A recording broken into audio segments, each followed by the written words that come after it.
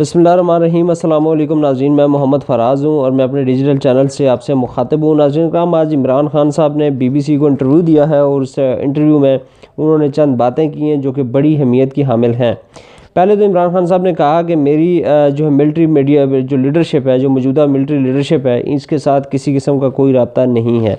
बहुत अच्छी बात है, होना भी नहीं चाहिए। मिलिट्री लीडरशिप का सियासतदानों के साथ रबता सिर्फ़ इस हद तक होना चाहिए कि मुल्क के अंदर सियासी सूरत हाल से हट कर सिक्योरिटी की क्या सूरत हाल है? सरहदों की क्या सूरत हाल है? मुल्क के अंदर या बाहर से क्या थ्रेट्स हैं, किस तरह के हैं, इसके अलावा सियासतदानों से मिलिट्री लीडरशिप का ना दुनिया में कोई रबता रखता है, ना होना चाहिए। ये पाकिस्तान के अंदर बड़ा खुशाइंद होगा कि अगर इस तरह की कोई चीज़, कोई भी सियासतदान whether he is Imran Khan Nawaz Sharif या आसिफ अली जरदारी, कोई भी हो, आपने जिस दिन मिलिट्री लीडरशिप से रबता तोड़ लिया, यकीन जाने पाकिस्तान तरक्की करना शुरू हो जाएगा। पाकिस्तान एकदम से चंद सालों के अंदर इन शजीज़ एशियन टाइगर बन जाएगा। ये बहुत अच्छी बात है और बड़ा जो है एक हौसला अफजा खबर है इमरान खान साहब की तरफ़ से कि उनका मिलिट्री लीडरशिप जो मौजूदा है, इसके साथ कोई रबता नहीं है।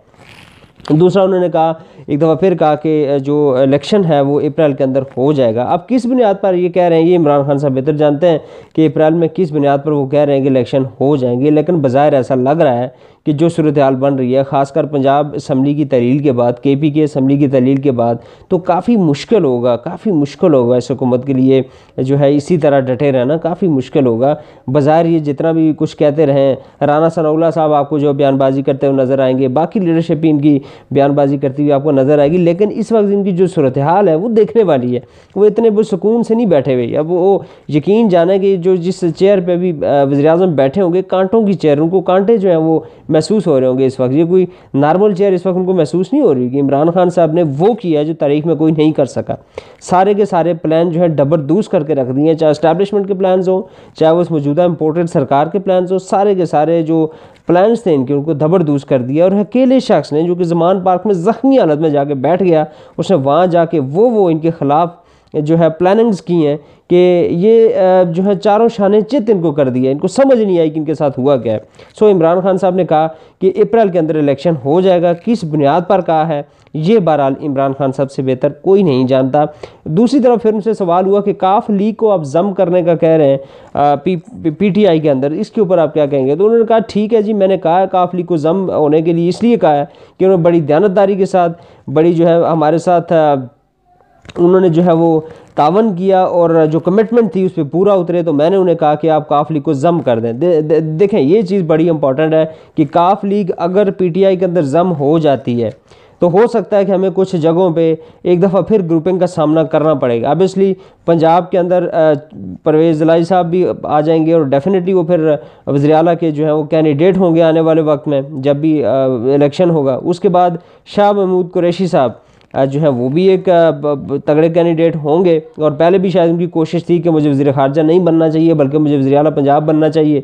तो ये यहाँ पर इस तरह के मसाइल पी टी आई को हो सकते हैं। कहीं ना कहीं हमारे अंदर ग्रुपिंग दोबारा हो सकती है। लेकिन बहरहाल मेरी ज़ाती राय भी यही है कि परवेज़ जलाई साहब को पंजाब का सीएम होना चाहिए। देखें, शरीफों की अगर आपने मंजी ठोकनी है ना, शरीफों को अगर आपने खुडे लाइन लगाना है ना तो उसके लिए परवेज़ जलाई साहब से बेहतर कोई ऑप्शन नहीं है। और परवेज़ जलाई साहब अगर पार्टी अपनी जम कर देते हैं पीटीआई के अंदर तो बहुत बड़ी इसके अंदर जो है वो एक ऐड होगा और बहुत बड़ा एक पीटीआई के लिए आने वाले वक्तों में बड़ा ये बेनिफिशियल हो सकता है। अच्छा दूसरी तरफ़ जी, मैंने आपको दो दिन पहले एक अपनी एक रील बनाई थी फेसबुक के ऊपर, एक शार्ट वीडियो बनाई थी, उसके अंदर मैंने कहा था कि जो जमात इस्लामी के हवाले से आप पोस्टें लगा रहे हैं, खासकर पीटीआई वाले दोस्त, कि जमात इस्लामी को बहुत बड़ा करामा करने जा रही है पीटीआई के साथ मिलकर वो कराची के अंदर हुकूमत बना लेंगे।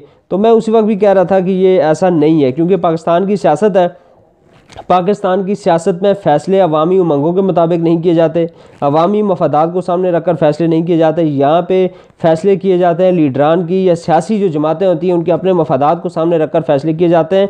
और वो चीज़ अब सच साबित होती हुई नज़र आ रही है। वो किस तरह कि आज जमात इस्लामी पीपल्स पार्टी के साथ मिलकर बैठी, वही पीपल्स पार्टी जिसके ऊपर इल्ज़ाम लगाते, लगा रही थी जमात इस्लामी की, उन्होंने इलेक्शन चोरी किया है। उनके साथ मिलकर बैठे मुजाकर करने की कोशिश हो रही है। आई डोंट नो उनको अलार्म्स या उनको जो सिग्नल्स हैं वो कहाँ से जा रहे हैं, वो पिंडी से जा रहे हैं या कहीं और से जा रहे हैं। लेकिन जमात इस्लामी एक दफ़ा फिर ये महसूस हो रहा है कि वो अपनी फितरत के मुताबिक फ़ैसला करेंगे। क्योंकि जमात इस्लामी की एक फितरत में एक चीज़ शामिल है कि वो हमेशा वो अच्छी डायरेक्शन में जा रहे होते हैं, लेकिन पता नहीं उनको एंड टाइम पर क्या होता है। वो फिर अपनी जो एक उनका उनका किबला तब्दील कर लेते हैं और फिर अच्छा खासा एक सीधे रास्ते पे चलते चलते डी ट्रैक अपने आप को खुद कर लेते हैं और यही अभी भी यही महसूस हो रहा है कि वो वैसा ही करेंगे।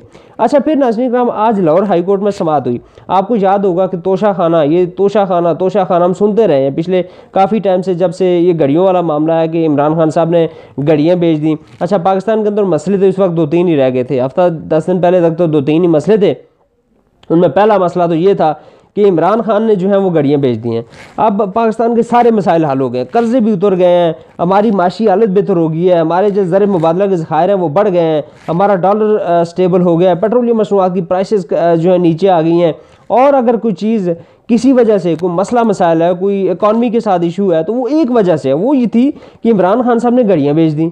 अब वो घड़ियाँ बेची कैसे? क्या किया? कार ये मेरे ख्याल में इसकी डिटेल्स में नहीं जाते। हर बंदे को पता है, आजकल मोबाइल का ज़माना है। आजकल इंटरनेट हर बंदे के हाथ में है। उसे डिटेल्स सारी पता है कि क्या होता रहा है इस मुल्क के अंदर। तोशा खाना तोशा खाना, सुबह शाम, मीडिया टॉक्स में देखें, आप प्राइम टाइम जो मीडिया नशियात होती हैं, उसमें देखें, तोशा खाना से हट नहीं रहे थे।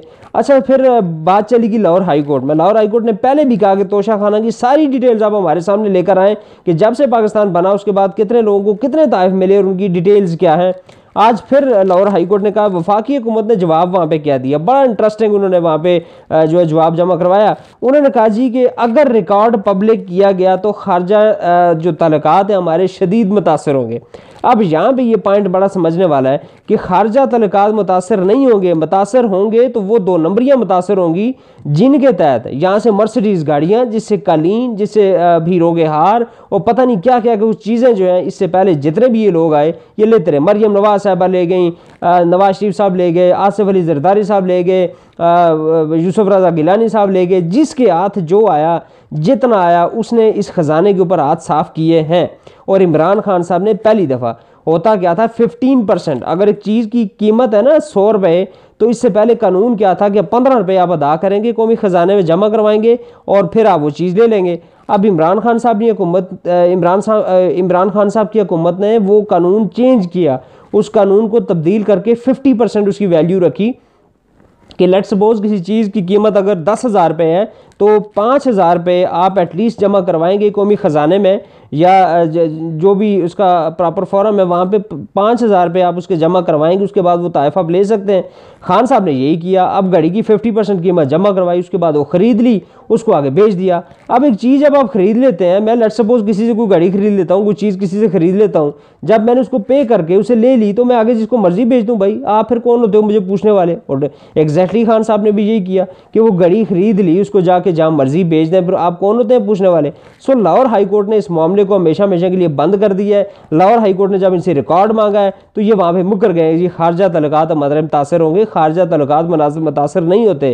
खारजा तलक़ात बिल्कुल मुतासर नहीं होते। वो दो नंबरियाँ सामने आती हैं, जिनमें कालीन और जितनी चीज़ें मैंने पहले गरवाएँगे मर्सिडीज़ गाड़ियों पता नहीं क्या क्या कुछ लेकर गए हैं, सारे के सारे सामने लाने पड़ेंगे।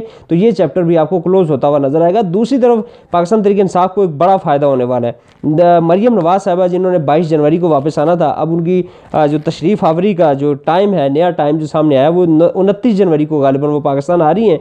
और ये चीज़ दी ऑन रिकॉर्ड है कि मरियम नवाज़ साहबा जितना ज़्यादा पाकिस्तान के अंदर स्टे करेंगी, उतना ही पाकिस्तान तरीके इंसाफ को उसका फ़ायदा होगा। क्योंकि मरियम नवाज़ साहबा का जो तरीक़ाकार है, सियासत का जो उनका स्टाइल है, उससे हमेशा मुखालफी को वो फ़ायदा देती हैं।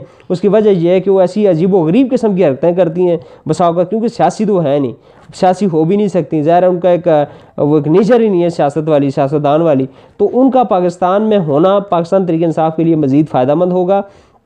और आने वाले दिनों में पीटीआई का बलरा आपको भारी होता हुआ, मजीद जो है वो भारी होता हुआ नज़र आएगा। दूसरी इलेक्शन कमीशन पाकिस्तान ने इमरान खान साहब की सात नशस्तों पर कामयाबी का नोटिफिकेशन भी जारी कर दिया है। इससे क्या अखज़ लेना चाह रहे हैं? इससे क्या नतीजा वो निकालना चाह रहे हैं? इससे क्या वो हासिल करना चाह रहे हैं? ये बहरहाल अभी जो है वो हाल तलब एक मसला है, एक हाल तलब क्वेश्चन है जो मुझे समझ आ रही है कि ज़ाहिर इमरान खान साहब का कामयाबी का जब नोटिफिकेशन होगा तो उसमें से छः सीटें उन्हें छोड़नी पड़ेंगी। एक सीट सीट पी के साथ जो है वो रहेगी। तो देखने में ये लगता है कि छः सीटें वो भी कम हो जाएँगी। तो इस तरह की सुना खैर, आगे जो इलेक्शन आने वाले हैं, तैंतीस जो उन्होंने अभी इनके इस्तीफ़े मंजूर किए हैं, उसके ऊपर इलेक्शन होता है, नहीं होता, या इसका अल्टीमेटली रिज़ल्ट क्या निकलता है, ये आने वाले दिनों में इंशाल्लाह सारी चीज़ें आपके सामने आएँगी। अगर वीडियो पसंद आए तो लाइक कीजिएगा, लाइक शेयर कीजिएगा, कमेंट सेक्शन में राय से रूल मुस्तफ़ कीजिएगा।